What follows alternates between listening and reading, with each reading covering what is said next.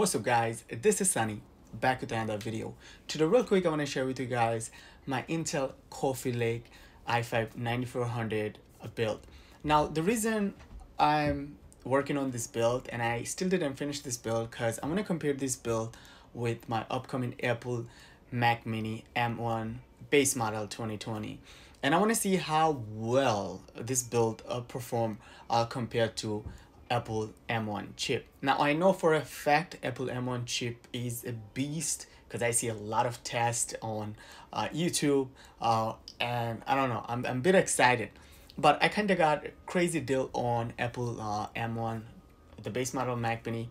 Uh, I purchased that Mac Mini from uh, BH uh, Video and Photo B&H for around $639 and I had a Payboo a card from B&H so I actually didn't have to pay tax. So it was pretty good deal.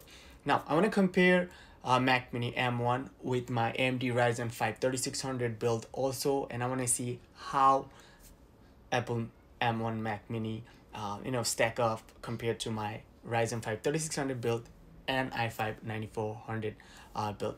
Now, today real quick, I want to show you guys how well these Intel Coffee Lake i5 9400 uh, build perform. Again, I'm sorry I didn't put this build in a case because basically I'm prepping both of these builds just for testing purpose.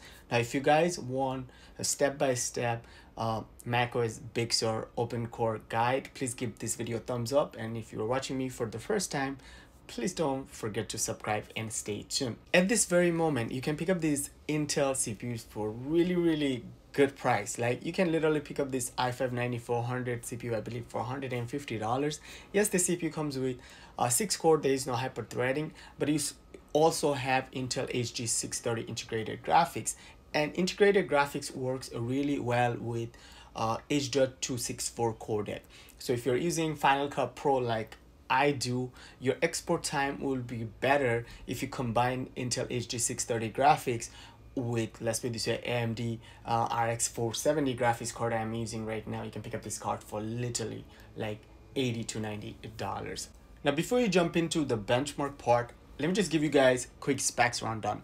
So for testing purpose, I'm using my Gamdias Astrape uh, P1750 gold rated power supply. You can go with cheaper power supply like EVGA 500 watt 80 plus bronze power supply you don't need a, a gold rated power supply and the motherboard we have here msi h310m pro dash m2 plus.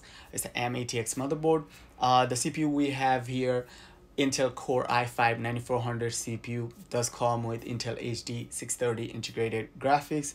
And I'm using the Intel stock uh, fan.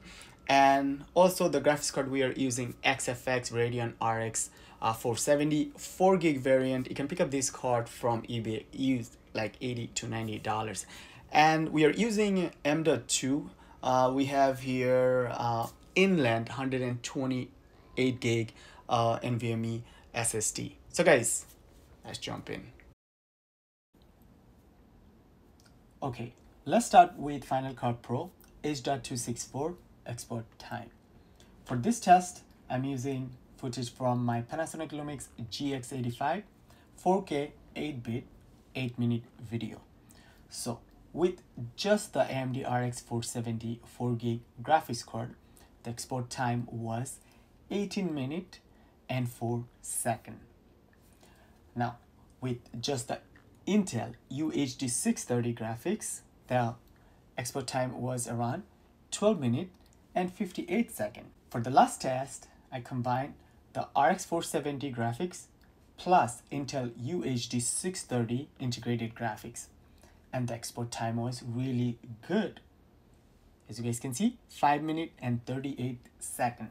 Now, why I'm showing you guys this test because last week I believe I received three or four email uh, basically you guys were asking me about if you should go with Intel Core i5 9400 CPU or 9400F CPU.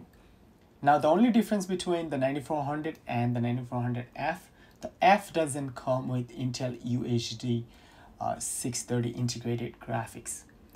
And the regular i5-9400, the one I'm using, this one comes with Intel UHD 630 graphics. Now, does uh, the UHD 630 graphics make huge difference? Yes, it does. If you're planning on exporting your video with, let's say, H.264 codec. If you're planning on, let's say, exporting your video with like ProRes or anything, then you really don't have to worry. Now, this benchmark is strictly for people who is planning on building a Hackintosh with Intel uh, CPUs. All right, so let's jump into the next test. So I ran Novabench test first with the RX uh, 480 graphics card. So the score we got 1882 and the CPU score was 761, the GPU score was 795 and our RAM score was 229 and also uh, the disk score was 97.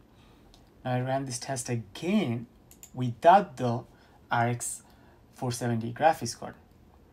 And the only difference you will see here, GPU score. So the GPU score was lower, it was around uh, 187. Total score was 1273. If we move into Luxmark right here. So now let me tell you guys, I try to run the Luxmark test with CPU and GPU combined. Uh, for some reason, uh, Luxmark was keep on crashing, like crashed like three or four times. Then I gave up, and then I just ran uh, the test with the RX uh, 470 graphics card, and the score we got around 12,453. Now let's move on, and let's look at the Cinebench R23 score. So the CPU multi-core score was 5975 PTS and the CPU single core score was 1057 PTS. So not so bad. Now let's look at Geekbench 5 score here. Okay. Now you guys can see the single core score was uh, 1034 and the multi-core score was around 5099. So the single core score is not so bad. Now if we compare this score with Apple uh, Mac Mini M1 version, Apple Mac Mini a single core score is around 1687 and the multi-core score is around 7433. So yes, Mac Mini does have really good single core score. Now let's move on and let's look at the Geekbench 5 OpenCL score. 39,676 and the metal score 42,249 alright guys hopefully this video was helpful. Uh, make sure you stay tuned for uh, Mac Mini M1 versus my uh, Intel Coffee Lake build versus my uh, AMD Ryzen uh, 5 3600 build. And also if you guys um, want me to make uh, Intel Coffee Lake uh, step-by-step Mac OS Big Sur guide, then please don't forget to like this video and also subscribe and stay tuned. See you guys next one. Peace.